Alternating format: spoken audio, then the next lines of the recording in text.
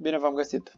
Astăzi vom învăța să ne creăm un cont pe Gmail, după care să intrăm cu ajutorul acestui cont pe Google Drive și să ne creăm acolo fișiere, să aducem poze sau alte documente și să le partajăm cu cei dragi. Să începem! Mai întâi vom intra pe gmail.com Vom apăsa pe butonul de creează un cont Uh, după cum puteți vedea, avem acest formular în care va trebui să completăm prenumele. Îi vom spune Digi Online. Vom adăuga și un nume de uh, familie, să spunem un nume aleatoriu Popescu. La prenume vom pune Digi Educație. Totuși, digieducație.popescu arond gmail Vom completa și o parolă. După care vom apăsa pe butonul de înainte. Uh, ni se va cere și un număr de telefon care este opțional, adresa de e-mail pentru recuperare care va fi de asemenea opțională, uh, o zi de naștere, punem aici o zi de naștere aleatoare, decembrie completăm ce an doriți și ce gen bărbat, femeie prefer să nu spun. Să zicem, vom pune bărbat. După care vom continua. După cum puteți vedea, politica de confidențialitate și termeni. Vom fi de acord după ce am citit în prealabil și după aceea vom apăsa butonul de creați un cont.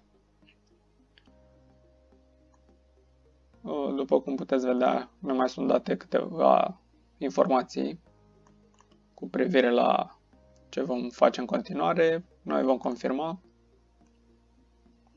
după care vom aștepta și contul în cel mai scurt timp va fi creat. Mai trebuie să așteptăm puțin.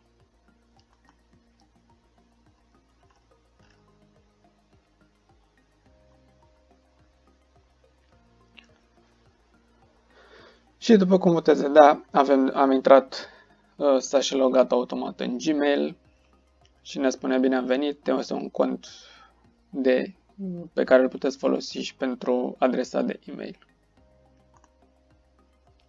După ce ne-am creat acest cont, vom deschide un nou tab și vom accesa site-ul drive.google.com. Aici este un loc, uh, cum aveți uh, hard discul, îl putem compara cu o partiție de pe discul dumneavoastră în care aveți la dispoziție 15, 15 giga spațiu de stocare. Contul meu Drive se afișează aici. Uh, după cum se poate vedea și din descriere, un singur loc pentru toate fișierele dumneavoastră. Aici vă puteți crea foi de calcul, documente, prezentări Uh, foldere pe care să le partajați. Să presupunem că noi suntem, să zicem, un profesor și dorim să ne partajăm uh, uh, niște fișiere cu uh, elevii noștri. Să zicem că predăm la trei clase și vrem să share aceste fișiere cu elevi. Dacă apăsăm click dreapta, ne vom putea crea un dosar nou. Acesta va fi un folder și vom spune clasa 5A. Vom crea un folder. După cum vedeți, vedea în colțul din stânga jos, se spune se lucrează, e în curs de procesare, după care vom mai putea adăuga încă un folder clasa 5B. Am mai creat încă un folder și mai cre vom mai crea încă un. Clasa 5C. Astfel vom avea trei clase. Să zicem că pentru prima clasă dorim să creăm un fișier, un document Google, care este asemănător cu un Word, cu titlu tema 1. În acesta vom descrie ceva lorem ipsum dolor, ce, ce informații doriți să le trimiteți elevilor după care vom închide și după cum puteți observa avem fișierul acesta în folderul de clasa 5 -a. Ce putem face uh, de aici încolo? Uh, după cum puteți observa, avem trei foldere. Uh, să zicem că dorim să partajăm cu elevii clasei a 5-a primul folder. Putem da click dreapta pe acesta și intrăm la opțiunea un omuleț acesta cu plus, care înseamnă trimiteți sau share în engleză.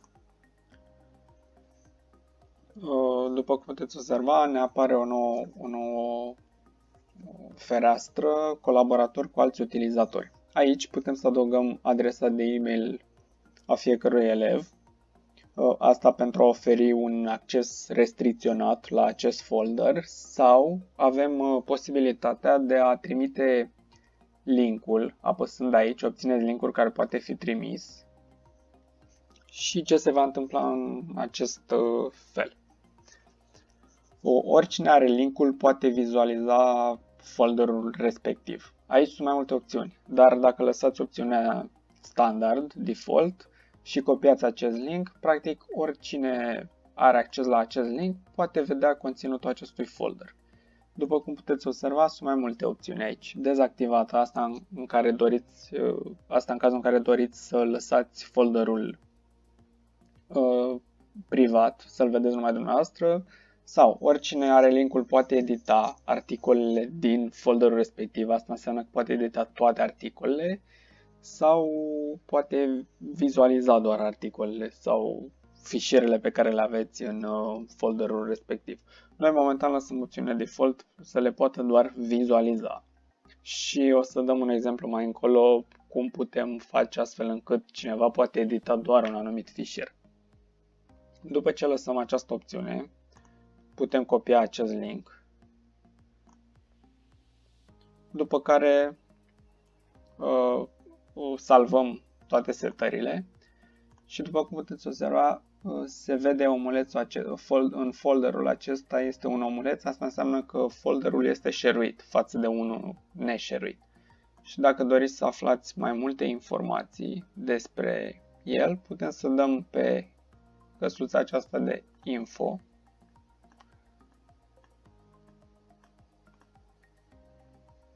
Clasa 5A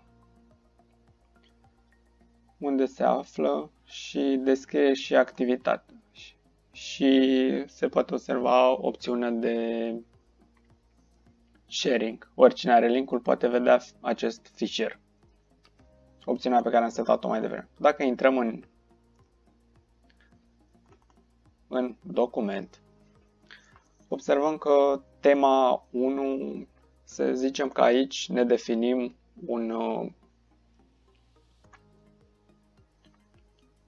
Aici definim enunțul unei teme.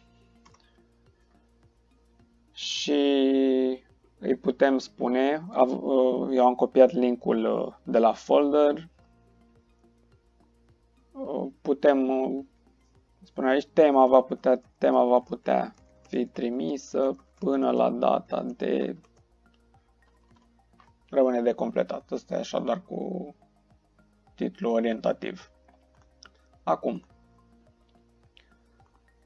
Uh, mai, uh, aș mai dori pentru exemplificare să mai creez un fișier uh, să vedem cine se înscrie pentru a rezolva tema 1. Voi face un fișier, un Excel. Și aici vă anunță că acest fișier va avea aceleași permisiuni ca folderul, adică se poate vizualiza de către oricine are linkul. Și în acest fișier să spunem că este o foaie de calcul cu înscriere scriere pentru tema 1. După ce am creat fișierul acesta, după cum am setat mai devreme, pe folderul de clasa 5 -a, sunt doar permisiuni de vizualizare, deci oricine poate doar vedea ce este aici, nu poate modifica absolut nimic din conținut. Dar să zicem că pentru acest fișier dorim ca elevii să se poată înscrie pentru tema 1. Cum vom putea seta aceste permisiuni? Selectăm fișierul, dăm click dreapta pe el și tot la opțiunea de trimiteți sau sharing dăm click și uh, aici ni se va genera un alt link doar pentru fișierul acesta și de aici vom seta opțiunea de a edita acest fișier. Și uh, după cum se poate observa față de, celălalt, de linkul folderului, uh, acest link este diferit. După ce am salvat aceste setări, vom apăsa pe butonul de terminat și practic aceste opțiuni s-au, uh, s-au salvat. Vom mai verifica încă o dată mm, setările de vizualizare pentru fișiere noi create. Astfel, dacă selectăm acest folder de clasa 5A și ne ducem la detalii, vom vedea că acest folder este doar, se poate doar vedea, deci nu se poate edita. Dacă intrăm în el, uh,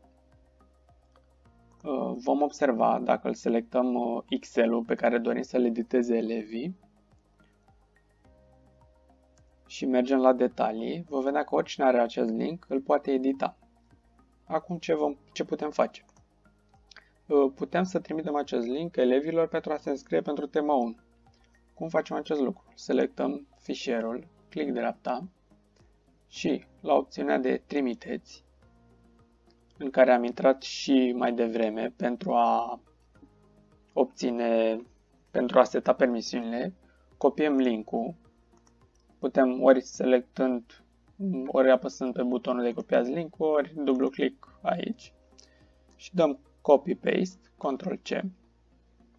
Aici nu mai e nevoie să dăm terminat, fiindcă oricum uh, setările au fost deja salvate, deci ori dăm pe terminat, ori dăm escape și ne putem duce pe adresa de e-mail. Este un simplu exemplu. Și uh, putem să scriem un nou e-mail, să zicem către fiecare elev, elev1 arongmail.com etc.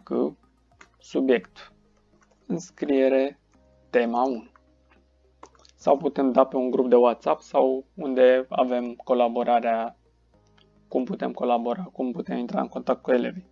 Și uh, le vom putea trimite următorul mesaj. Pentru înscrieri la tema 1, accesați linkul de mai jos și scrieți vă numele acolo.